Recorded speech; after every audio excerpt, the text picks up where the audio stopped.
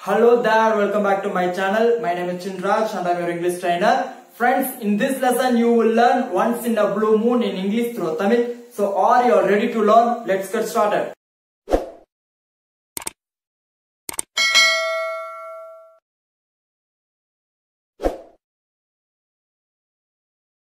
So my dear viewers இன்னைக்கு இந்த லெசன்ல நம்ம என்ன பார்க்க போறோம் அப்படின்னா இடியம் இடியம்ல என்ன பார்க்க போறோம் அப்படின்னா once in a blue moon இந்த once in blue moon first இடியம்னா என்னன்னு தெரிஞ்சுக்கலாம். இடியம் அப்படின்னா நம்ம ஜென்ரலா வந்து தமிழ்ல பேசும்போது சொல்லுவோம். எப்படின்னா நாம ஒருத்தர் ரொம்ப நம்பிட்டு இருந்தோம்னா அவங்க நம்ம ஏமாத்திட்டாங்கன்னா நம்ம சொல்ற ஒரே வார்த்தையா தான் நான் எவ்வளவு நம்பினேன்? அவன் என்ன? நம்ம வச்சு கழுத்தறுத்துட்டான் நம்ம வச்சு கழுத்தறுத்துட்டான் ஆனா கழுத்துல அறுக்கிறது இல்ல. பட் நம்ம நம்ம வச்சு கழுத்தறுத்துட்டான் நெஞ்சில குத்திட்டான். முதுகுல குத்திட்டான். அந்த மாதிரி நம்ம சொல்றோம் இல்லையா?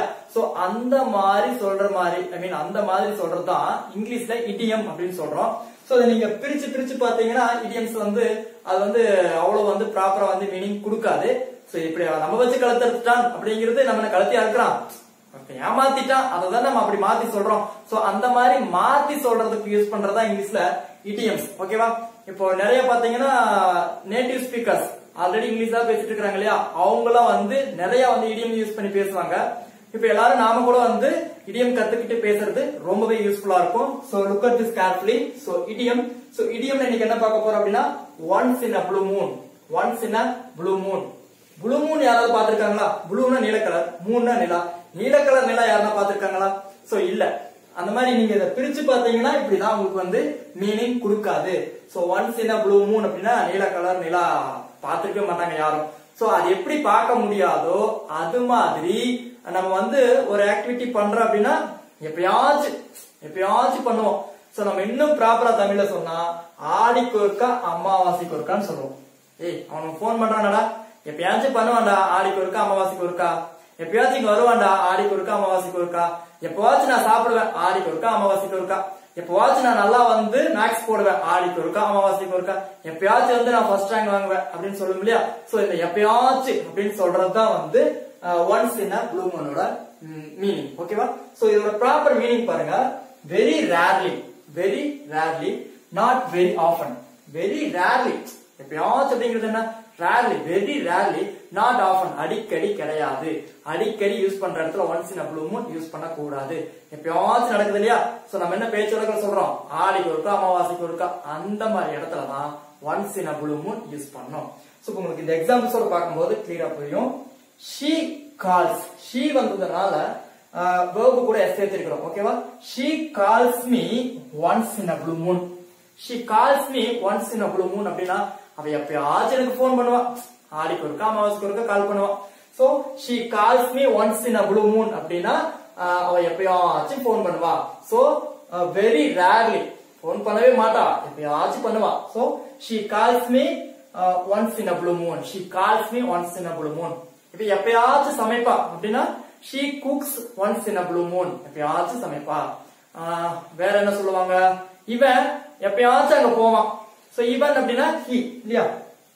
ஹி சோ ஹி வந்து நம்ம என்ன யூஸ் பண்ணணும்? வகுப்பு கூட எஸ் சேர்க்கணும். சரி இவன் எப்பயாச்சும் அங்க போவான்னா he goes there once in a blue moon he goes there once in a blue moon so எப்பயாச்சும் அங்க போவான். Okay now second example he again he comes means reads he reads once in a blue moon அவன் எப்பயாச்சும் படிப்பான். எப்பவுமே விளையாண்டு இருப்பான் எப்பயாச்சும் படிப்பான்னு சொல்ல முடியா he reads once in a blue moon he reads once in a blue moon so இது வந்து சிம்பிள் பிரசன்ட் டென்ஸ்ல நம்ம சென்டென்சஸ் மேக் பண்றோம். சிம்பிள் பிரசன்ட் டென்ஸ்க்கு ரெண்டே ரெண்டு ஸ்ட்ரக்சர் தான் வந்து வேர்ப் சேர்க்கணும். ஐ மீன் வேர்ப் எழுதிக்கணும். நெக்ஸ்ட் சப்ஜெக்ட் அடுத்தபடி வேர்ப் எழுதிக்கணும். நெக்ஸ்ட் வேர்ப் கூட எஸ் சேர்க்கணும். இந்த he she it third person singular வந்துச்சுன்னா verb கூட எஸ் சேர்க்கணும் இவ்வளவுதான் சிம்பிள் பிரசன்ட் டென்ஸ் ஓகேவா அது வேணா உங்களுக்கு நான் வந்து தனியாவே சிம்பிள் பிரசன்ட் டென்ஸ் வந்து எப்படி யூஸ் பண்ண அப்படின்னு அந்த கிளாஸ் உங்களுக்கு நான் தனியாவே ஹேண்டில் பண்றேன். சோ இப்போதைக்கு ஜஸ்ட் தெரிஞ்சுக்கங்க இது எல்லாமே சிம்பிள் பிரசன்ட் டென்ஸ் இருக்குது.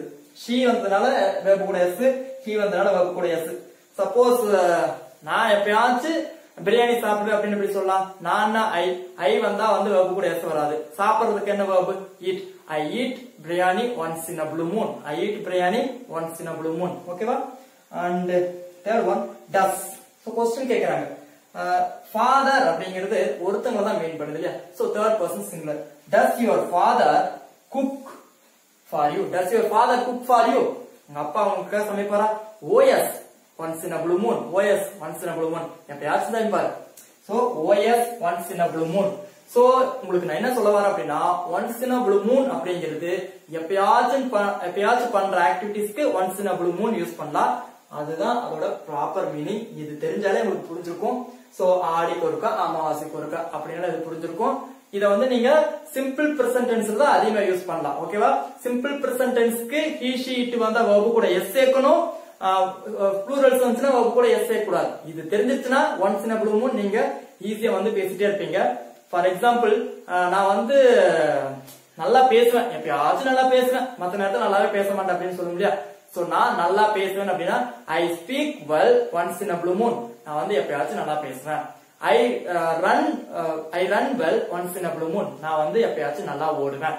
சோ இந்த மாதிரி எப்பயாச்சும் சொல்ற இடத்துல நம்ம என்ன யூஸ் பண்ணலாம்? Once in blue moon use பண்ணலாம்.